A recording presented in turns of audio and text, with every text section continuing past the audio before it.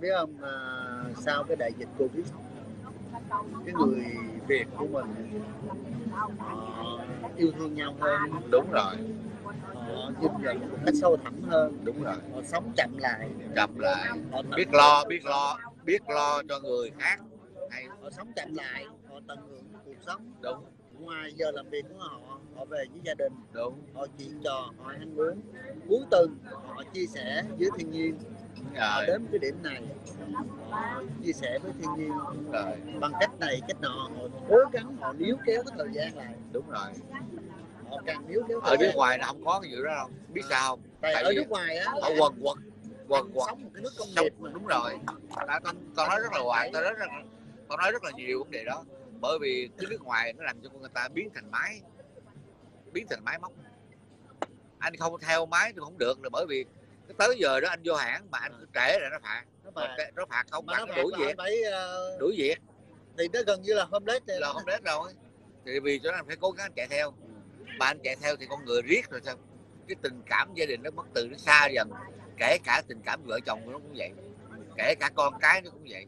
Để không? Tại vì đó cái người nước ngoài cái tình cảm gia đình thiêng liêng đó hoàn toàn nó không có còn ở đây mình người việt đó mình níu kéo bằng cách là mình gần gũi vợ con mình hơn ăn chung uống chung rồi có những cái sinh hoạt chung với nhau. Để làm chi? Để cho nó nó nó, nó. À, Huế như đi rồi đi vô thành cổ rồi.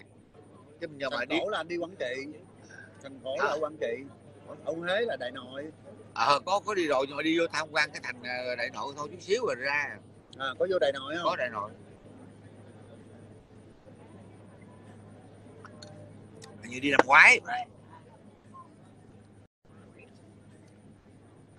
nhưng mà chưa đi sâu chưa vào chợ đông ba chưa đi ờ, gì à, cố đô đó vô cho trong đại nội. trong đại nội trước Đại Nội có chưa? vào huế rồi nhưng mà đi tham quan mà những ờ, đi chùa thương ngụ chưa? Chưa. Ờ, lăng khải định cũng chưa. Đi đồi thiên an chưa? Chưa. Đi- đi, đi- à, đi bởi sao đi đi đi ngắn ngày quá. Bây giờ tao ước tao đi à, không kỳ rồi đi à, à, nghĩa trang đường chín năm lào đi rồi. Nhưng mà bây giờ nghe tôi muốn đi là cái chỗ à, nghĩa nghĩa trang đường sơn. Những trai trường sơn là chân quốc lộ 14 không biết mà nghe nói vậy đó. Thì cái gì cái gì nó cũng có nét đẹp nó à. Bởi vì à, cái nước nước này được thanh bình như bây giờ. Đây là ta không nói là vấn đề à, bên nào kể cả bên ngụy hay là bên không ngụy ai cũng ngã xuống cả. Nhưng mà những người đó đều ngã xuống để cho đất nước mình bây giờ mới được bình yên. Thanh bình. Thanh bình nó rõ ràng như vậy. Và mình tôn trọng được cái điều đó. Mình phải hiểu được lịch sử mình phải hiểu được.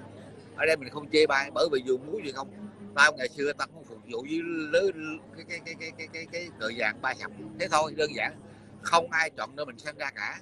Đơn giản vậy thôi nhưng bây giờ cái chuyện nó không còn nữa. Tất cả mọi cả người chung nhau. Nội cũng như ngoại, đều tất cả mọi người. Nó tao đã từng nói rất là nhiều lần rồi. Khi cái ngày 30 tháng 4 ở Việt Nam mình vẫn còn một triệu lính. Một triệu lính triệu lính ngụy. Nhớ nhớ kỹ điều đó. Và họ hiện giờ hòa mình vào đi đất nước. Và có những người làm ông cố, ông nội rồi. 50 năm rồi. Đâu cần gì đâu. Và chẳng bao giờ họ than phiền một cái gì cả. Ba cái con kiến dế đủ má ở ngoài ờ, nước ngoài chỏ mỏ về chửi tầm bậy tầm bạ. Rồi đủ ở trong nước, chỉ có kiếm tiền, rồi xong chỉ chị linh mày đưa tao 300 đô đi, tao chửi cho mày nghe, rồi xong rồi đủ chửi gì tiền thôi. Mà ta cũng thẳng thèm để ý chi, mà và nó hỏi những câu vớ vẩn những cái chuyện gì? Bởi giờ nãy tôi nói với chu phan mày phải trả lời cho chưa đủ tư cách. Bởi vì nó quạnh hẹ, bây giờ nó quạnh hẹ. tại là sao Việt Nam mình là đúc tượng để mà tưởng niệm những người anh hùng rất là nhiều. Nó đủ chuyện vô lý không? Đủ. Khi người ta làm đó là có nguyên nhân có sự sâu xa. Và cái ngân quỹ đó họ trích ra họ làm để tưởng nhớ những người anh hùng của đất nước. Chuyện bình thường thôi mà đâu có gì đâu không nó không lồ ra nó, nó chửi đồ mẹ. Khổ lắm đồ cá chết nó cũng chửi cây chết nó cũng chửi cây xanh nó cũng chửi rồi Formosa nó cũng chửi. Nói chung là cái gì nó cũng chửi bệnh viện nó cũng chửi thì đúng là như vậy. Sai là nó cũng không có thể quyền giờ chửi. Sai. Nhưng mà anh Khổ. biết cái con cá hồi á nó cỡ nào đi nữa nó cũng phải quay về cái cố hương. Đó mày cái chỗ mày mà nghe. nơi sinh ra nó để nó chết nữa kìa. Mày nghe thằng em tôi nói không con cá hồi cái á. con cá hồi bà nó đi đâu cũng cần biết nhưng cái mùi nó đẻ đó. Nó phải quay về cái cố hương. nó sinh ra. Quay về cố hương. Mà nó làm thịt nó hy sinh bị con gấu nó ăn các mày. Con gấu ăn ờ thịt mà nó vẫn mua nó đi về. Nó sinh ra rồi nó đẻ trứng ra rồi xong nó chết đừng luôn. nói với con người. Tôi bây giờ rồi nó còn bà bay còn thua con cá hồi. Nó cả là thua thua loài súc vật. Nó hẳn là vậy đúng không? Tao nói gì đúng không?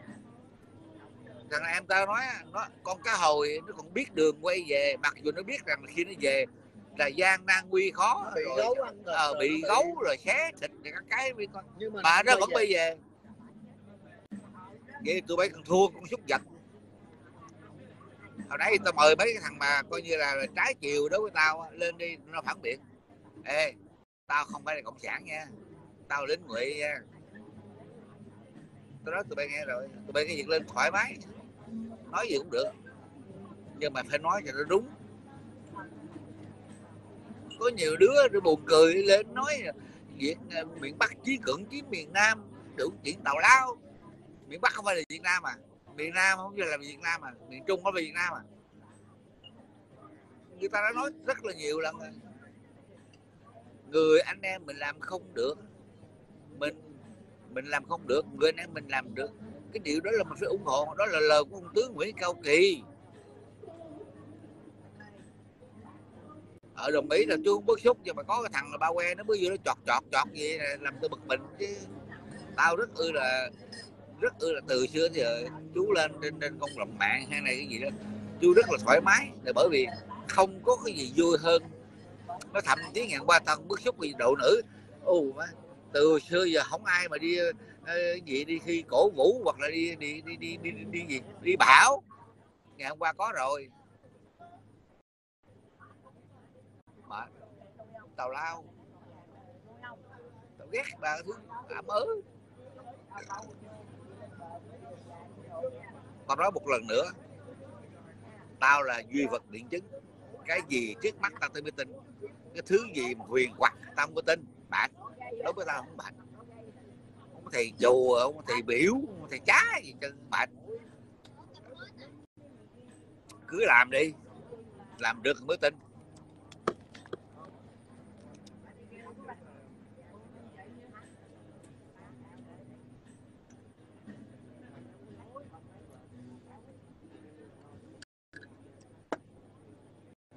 Ta đang ngồi nhậu, tụi bay nè là tàu đang chạy vòng vòng vòng ở trên sông á. Uống nãy giờ mình tao cũng nhiều rồi một hai ba bốn năm lon hả? Anh hả? Ừ. Năm lon. Năm lon hả? Mình tao uống năm lon bia bây giờ tôi vui quá. Là bởi vì anh nói thiệt với em á từ xưa giờ chẳng biết tay đô là mẹ gì cả.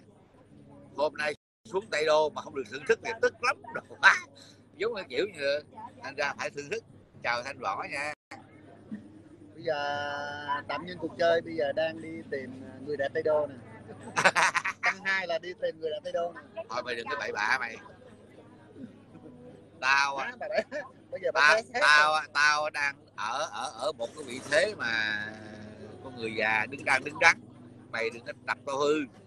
Bây giờ nó rồi suối vô karaoke ôm nó là ghê. Bạn thôi bạn giờ tao đang kiếm chỗ ngủ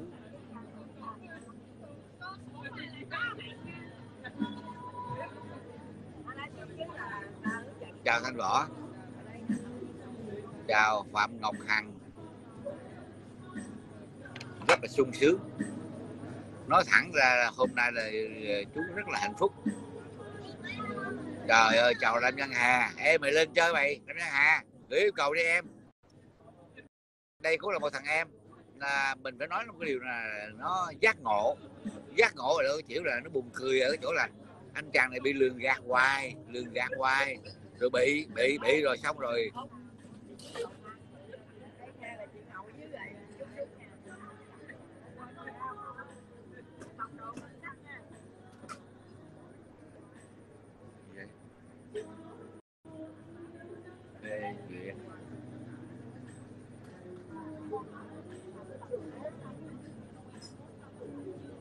Ủa, mày gửi yêu cầu đi hà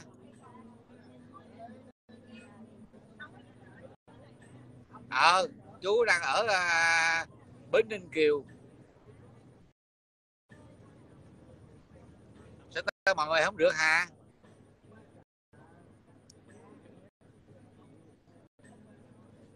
Gửi cầu lại đi.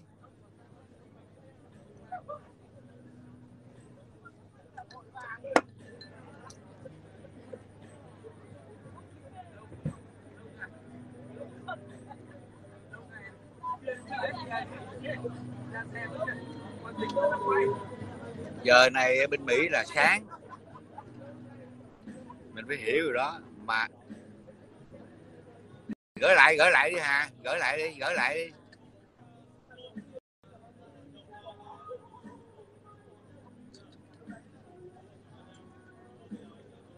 Để anh đeo tai nghe vô.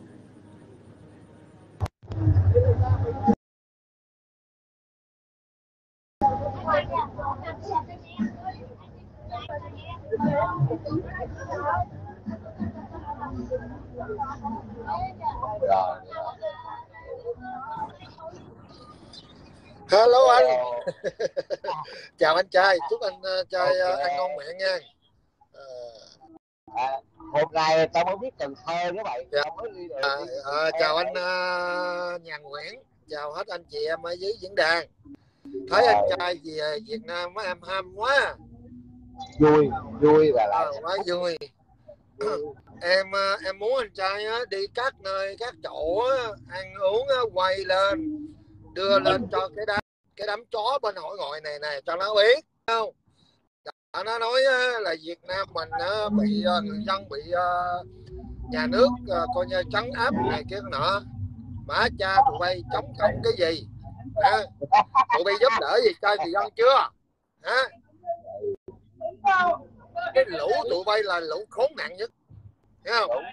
Cũng như anh cầm anh đã nói á, là tao bị lường gạt tao lừa đảo rất là nhiều. Bây giờ tao giác ngộ ra là tụi em biết rồi. Thấy không? Cho nên á cái đám chó tụi bay ở đây rất là cây cấu cho tao. Nhưng mà cây cấu làm gì được tao? Thấy không? À, anh trai người ta không khai thác về sự thật đó Ngon thì về đây đi. Coi cảnh quan thế nào. Đó bởi vì nhưng mà anh biết sao tụi cái lũ bên này á nó chuyên môn là nó lấy những cái cái giai đoạn mà cách đây hai ba chục năm về trước á hiểu không? Ừ, nó đưa lên hiểu không? Nó tuyên truyền gọi là láo xược á. Bà mẹ tụi bay. Đó bây giờ điển hình như anh cầm quyển này anh gì anh đi ăn đi uống đó. Anh đưa lên đấy đấy trời ơi rượu mà thiệt ngon ngon vô cùng. Ê, anh đang ngồi trên cái phào này nó chạy vòng vòng trên sông mới là ghê chứ Ờ, ừ, sung sướng rồi còn gì nữa.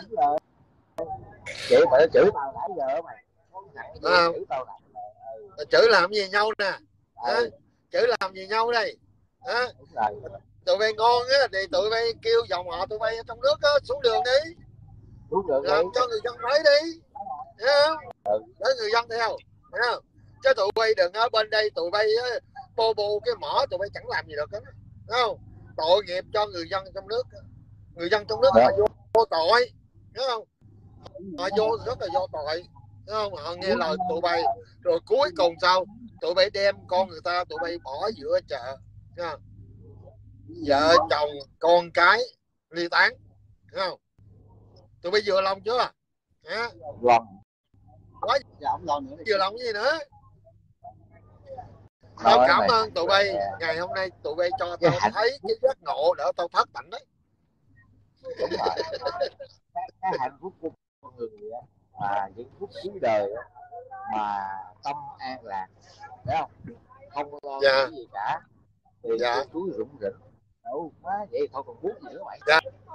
À, đúng rồi cho nên á Ừ. là Long Hà cũng tha thiết kêu gọi người dân ở trong nước á đừng bao giờ đừng bao giờ nghe bất kỳ một những cái nhân vật nào ở bên cái hội ngồi này.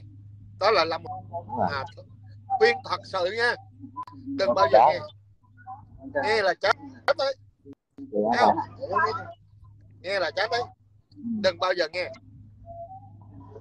Đó là Lâm Hà tha thiết kêu gọi người dân trong nước hãy thoát tận đừng bao giờ nghe. Nghe là đi vào cái con đường chết thôi. Cái thứ nhất và cái thứ hai á đa số ở bên hội ngồi này nè những cái kẻ mà coi như lừa biến không chịu làm ăn á kêu gọi cái cộng đồng mạng này là quyên góp tiền đỡ nó nó xài cho cái bản thân cá nhân nó thôi chứ nó không làm gì được. Hết. tự cái thằng không này là nó thành phần khốn nạn nhất. Long Hà bị lường gạt lừa đảo nhiều lắm rồi mất tiền nhiều lắm anh chị. Bây giờ Long Hà không có cho bừa bãi cái kiểu đó nữa. Đó là Long Hà nói thật. À, Long Hà tha thiết mong rằng sẽ có một ngày Long Hà về trong nước. Long Hà sẽ đi các tỉnh coi những bà con nào mà khó khăn nhất. Cái ước nguyện của Long Hà sẽ làm một hai cái căn nhà tình thương cho cái những cái người mà rất là khó khăn. Long Hà đang để dành tiền cái chuyện này chính xác. Nhưng mà anh nè hồi nãy có một thằng đây nói tao nghèo lắm mà ăn cái quần què gì tao nó không biết tao là thì đâu sao đâu anh trai? Thì mình chịu Không, nghèo đi. ừ thì tao đâu có nói gì đâu. Mình nghèo mình nghèo mình đâu có xin họ đâu anh. Không? ừ, miễn sao mình đi ăn đi uống thoải mái tinh thần là ok rồi. Thấy không? Đúng bọn nó còn không cho mình cái gì đâu. Đó em chấp nhận nghèo mà anh cho biết là tụi nó nói Lâm Văn Hà coi như là dốt ngu này cho nó ok. Tao dốt. Tao dốt lắm tao ngu lắm. Nhưng mà cái đầu tao không dốt. À, tao cảm ơn tụi bay cho tao cái sự đó. Không? tao sẽ giữ lấy cái sự đó. Nhưng mà tao rất là quý cả một cái dân tộc đang sống khó khăn ở trong nước cái tâm nguyện của tao. Tao khao khát. tao sẽ giúp những cái người khó khăn nhất. đâu. Yeah. À, như, như bên anh trai nói nhỏ em nghe không có rõ. À, à, dạ. Nghe chưa? Dạ nghe em rồi ok. Ở Việt Nam anh trai biết hôm qua em đi mua chiếc xe rồi. Em lấy chiếc xe về rồi. Ờ. Chiếc đó là cái Honda Honda gì vậy ếch cọt hay gì. À nó nó à, nó đàn em có pilot. 2024 ok. Dạ. chạy cha đi mà Chiếc nó nói tao không có xe rất là ngon à, bác trai à, bác trai. Thôi kệ mẹ tao không nói tao tại sao không mua pin khác mà lỗ nó đủ tao không mua mua mày. Dạ. Đủ tại vì tao dư xe rồi biết xe Tại vì bác xe biết sao? không tại vì tụi nó thấy nó nó cành nanh với bác. Nó thấy bác ăn đi chơi vòng vòng á rồi bây giờ nó tìm mọi cách nó đặt điều nó vô khống thôi. À. chứ thật sự nó tụi nó muốn như bác còn không có được đâu. Nó thẳng thì như vậy. Đúng không? Nó muốn không có được. Nó thẳng thì như vậy. hãy cố, cố gắng lên bà con trong nước nha. Hãy cố gắng lên đừng bao giờ đừng bao giờ nghe cái đám chó bên hội ngồi này. Đó là Long Hà nói thật đúng rồi nè nạn nhân ở đây nè bị lường gạt lừa đảo nhiều lắm nè anh chị. Rồi nhé đừng bao giờ. Nếu mà thương Long Hà Long Hà cảm ơn. Long Hà kêu gọi toàn dân trong nước đừng bao giờ nghe. Đừng bao giờ nghe cái đám ở bên này. Đi vào con đường bốn bức bức tường. Thấy không cuối cùng rồi á ai chết ai khổ đâu mình mình rồi vô bốn cái tường vợ con mình nó hoài khổ gì mình. Thấy không? Mà chị không có làm gì vợ mình đó người ta xài. Con của mình á người ta tra tấn. Đó là Long Hà nói thật. Đừng bao giờ nghe nó. Hãy nghe, nghe Long Hà kêu gọi đi. Thấy không? Tại vì các anh chị ở trong nước á hiểu không đừng bao giờ nghe cái đám ở bên này. Đừng bao giờ nghe. Cái đám ở bên này á, là một đích nó lên cái cộng đồng mạng này nó nó kêu gọi quyên góp tiền để nó chuộc lợi cá nhân riêng tư của nó thôi. Long Hà đi làm đóng tớ biết bao nhiêu lâu nay tiền thớ của Long Hà là nuôi cái đám chó đó đó. Không? Đừng bao giờ nghe. Tụi nó lợi dụng thôi